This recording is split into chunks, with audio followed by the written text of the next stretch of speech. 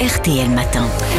L'heure de l'invité d'RTL Matin, Thomas, vous recevez aujourd'hui le député RN du Nord, qui est aussi vice-président du Rassemblement national, Sébastien Chenu. Bonjour et bienvenue sur RTL, Sébastien Chenu. Bonjour. Je vous trouve un peu palo. Ah oui, euh, probablement. Vous savez, on dort pas beaucoup euh, en, en période budgétaire. Mais vous vous sentez bien quand même. Très bien, surtout quand je suis avec vous. Non, parce qu'il va pas falloir tomber malade, vous avez entendu François Langlais. hein. J'ai bien compris. Le gouvernement veut réduire d'un milliard d'euros les, les dépenses liées aux arrêts maladie dans la fonction publique, notamment en passant le délai de carence de 1 à 3 jours. Est-ce que vous y êtes favorable? Écoutez, moi je crois qu'on peut regarder comment égaliser les jours de carence entre le public et le privé. Euh, euh, je pense que c'est une piste euh, qu'il faut regarder avec attention. Elle figure en tous les cas dans les, dans les propositions qui sont les nôtres. Je suis un peu dubitatif sur le, le, le financement, c'est-à-dire sur plutôt ce que ça rapporterait. Le Mhm. gouvernement nous dit que ça rapporterait, je crois, un milliard deux. Je suis plus dubitatif sur ça. En revanche, euh, la- Sur le principe, vous êtes pour?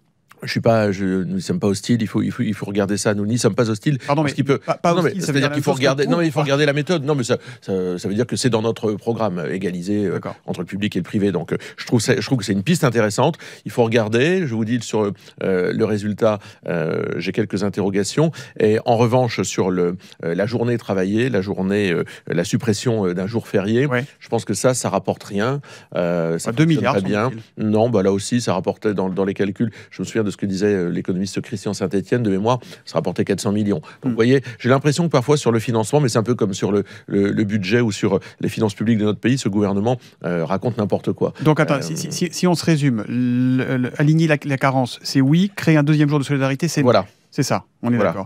Au risque de déclencher des grèves, la, la carence dans le, dans le public, on voit déjà la CFDT et l'UNSA sont vent debout? Non, parce que je pense que de l'autre côté, euh, il faut euh, expliquer euh, aux Français qu'on va aussi leur donner des mesures de pouvoir d'achat, et ça, je les vois pas euh, Mm. dans ce que propose le gouvernement dans son budget. Par exemple, si on réservait dans un autre sujet la prime d'activité aux Français, ça, c'est un milliard d'euros qui retournerait, qui permettrait de faire des économies, mais qui montrerait la volonté de récompenser les travailleurs français si on repoussait la désindexation des retraites. Et les autres, vous les laissez tomber ceux qui sont bah, en c'est une mesure d'économie, c'est ouais. une mesure d'économie qu'on veut euh, nationaliser. Euh, c'est une, une autre mesure, c'est euh, repousser la désindexation des retraites, c'est-à-dire le report de l'augmentation des retraites. qui était si- prévu pour janvier, qui est décalé à juillet. Absolument. Eh bien, Ça, c'est ah pardon, mais euh, ça, c'est une vraie ligne rouge. vous avez dit c'est un carton rouge. Euh, le, le carton Oui, rouge, c'est l'exclusion en football. On est d'accord. Ouais. Et en politique. Ah bah ça nous amènera de toute façon à nous opposer, à voter contre euh, ce budget. Ça, c'est sûr. Mais on va pas voter un budget dans lequel euh, on demande euh, aux retraités de payer les erreurs du gouvernement. Le de carton payer rouge, la ruine euh, de la France par la Macronie adossée aux Républicains. Le carton rouge, c'est l'expulsion. Je vais être plus clair. On voit pas très bien comment le gouvernement va pouvoir faire passer son budget en, en- évitant d'avoir recours au 49.3. Euh, il y aura une, voire plusieurs motions de censure. Est-ce que, compte tenu de votre désaccord euh, fondamental sur cette question-là, vous voterez une de ces motions de censure Nous, on n'exclut rien, on n'a pas arbitré euh, aujourd'hui. Ce que nous avons euh, arbitré, ce qui nous permet d'arbitrer jour après jour, parce qu'on voit que le gouvernement euh, ne fait aucune concession, ne fait, n'a fait d'ailleurs aucun retour sur nos propositions qui ont été portées au ministère des Finances par notre collègue Jean-Philippe Tanguy et, et Mathias Renaud, Mhm. député de la Somme, fait que nous voterons contre ce budget. Ça, nous pouvons Je l'annoncer. ne pas que ça manque de cohérence parce qu'on comprend pas très bien en fait. bah, vous c'est êtes facile contre, pourtant. vous on est êtes contre, archi- on vote contre.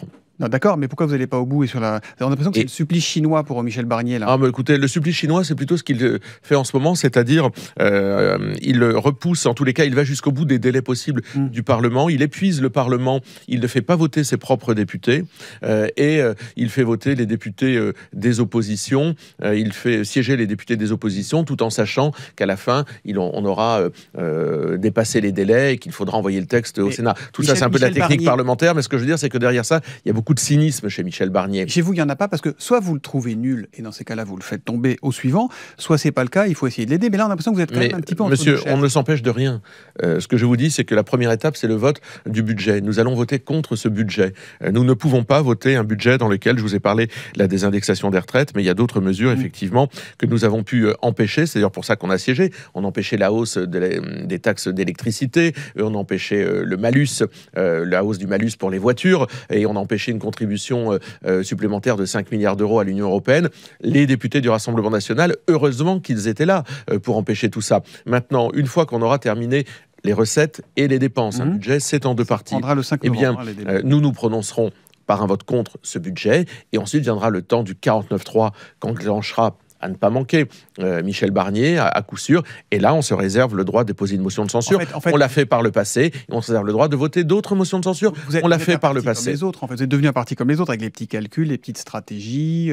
on y va, on n'y va pas, non? Mais c'est pas, c'est la vie parlementaire, ça, monsieur. Nous, on a montré dans le passé qu'on était capable de voter des motions de censure venant d'autres partis politiques. Là, le gouvernement est en train de réunir les conditions pour se faire censurer. Ils sont en train chaque jour, à travers ce qu'ils proposent, à travers leurs méthodes, à travers euh, ce qu'ils ne retiennent pas, ce qu'ils refusent de retenir dans, leur budget, de créer les conditions pour se faire censurer. Donc ils en prennent le chemin là quand même. Ah bah, le gouvernement prend ce chemin-là.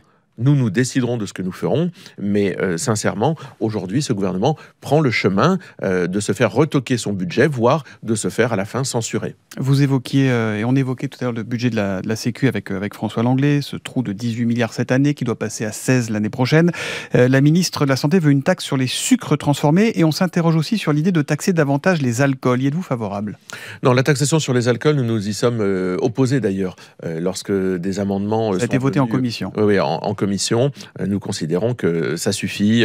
Euh, toujours aller chercher chez les mêmes le fait de pouvoir euh, financer les erreurs et les, les gabegies gouvernementales, c'est pas acceptable. La taxe sur les sucres, moi je pense que ça participe de la même logique, taxer, toujours taxer, etc. et demander aux Français de faire des économies. La seule chose qu'on pourrait regarder éventuellement, c'est en matière de, santé publique, c'est sur les sucres ajoutés, de à ce que ça n'impacte pas non plus nos boulangers ou en tous les cas les professionnels.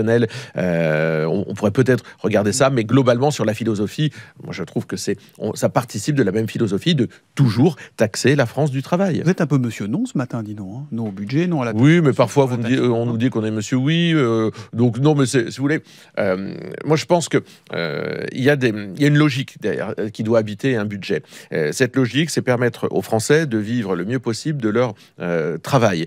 c'est pas une logique qui fait que le gouvernement, pour cacher, pour masquer euh, ses déficits, sa politique euh, délétère en matière de finances publiques, l'a fait combler euh, en tapant toujours sur les mêmes, en allant chercher dans la poche des Français l'argent qu'il a lui-même fort mal dépensé. Ce gouvernement est dans cette logique dans laquelle il demande des, aux Français beaucoup d'efforts et lui n'en fait pas à travers l'appareil d'État, le millefeuille administratif. à propos, vous avez, vu, vous avez vu la une du Parisien ce matin ou pas? Non. il s'émeut de voir que, que l'État a dépensé 155 milliards l'an dernier en fourniture immobilier avec des lampes à 80 euros après, il faut acheter l'ampoule à 48 euros, des prix qui sont surgonflés, tout ça se fait sur, sur catalogue.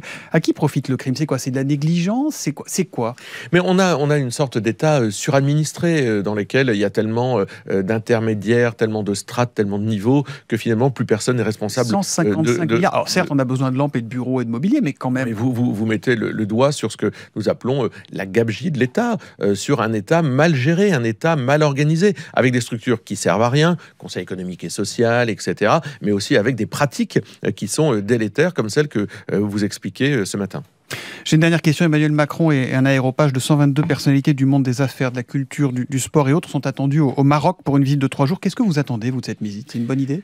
Bah, on attend évidemment vis-à-vis du, Maroc, qui est un pays ami, un pays qu'on aide avec une aide au développement à hauteur de, 6 milliards d'euros par an. On attend qu'effectivement le Maroc se penche sur les OQTF en particulier. Bruno Retailleau, il va pour ça. Hein. Oui, bien sûr, mais euh, ça c'est la première des choses. On attend aussi des contrats. Je pense que par exemple euh, avec Airbus ou avec Naval Group, on a des, perspectives de contrats et on attend de réparer euh, finalement un dialogue avec le Maroc qu'Emmanuel Macron a beaucoup abîmé dans le passé. Et puis c'est bien de pouvoir demander beaucoup au Maroc. Il faut aussi qu'en matière de mineurs non accompagnés, on a une convention qui nous lie au Maroc. C'est l'administration française qui refuse de l'appliquer ou qui l'applique fort. Eh bien là aussi, nous attendons que cette convention soit appliquée par les services service de l'État, là encore, il y a du boulot. Vous avez reçu ce que je cherche ou pas, vous? Non, je ne l'ai pas encore reçu, mais je vais l'acheter, surtout. Le livre Jordan le donc. Ah Il pourrait vous l'offrir quand même, non?